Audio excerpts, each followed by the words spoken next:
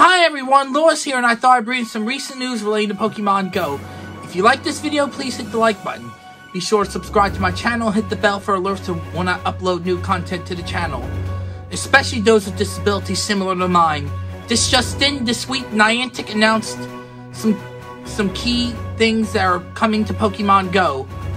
For starters, today it was announced that starting June 1st, from 11 a.m. to to um, 6 p.m. Pacific Standard Time, which would be 2 p.m. to 9 p.m. Eastern Standard Time. Pokemon Go will be down for maintenance for 7 hours.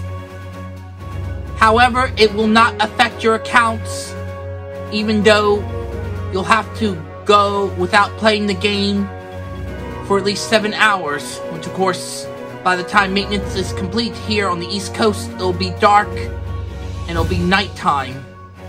In other Pokemon news, also announced this week, the next batch of legendary raid bosses are Kyurem,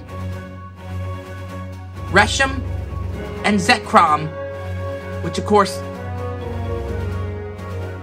Reshiram and Zekrom are the respective mascots of Pokemon Black and White versions and Black 2 and White 2 versions from Gen 5 on the Nintendo DS, while Kyurem is another legendary, which of course merges with one of these two in Black 2 and White 2 respectively.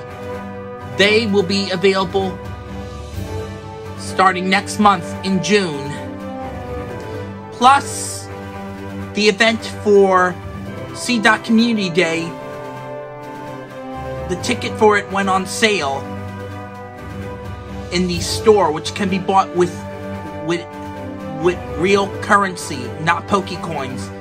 And of course, also in two weeks, about two days after the um, maintenance, we are also getting a special research event, which of course if you had completed all four throwback challenges from Kanto to Sinnoh, you will be able to complete a new challenge, which of course includes Galarian Meowth and Galarian Stunfisk, which also will give us all three starters from Unova.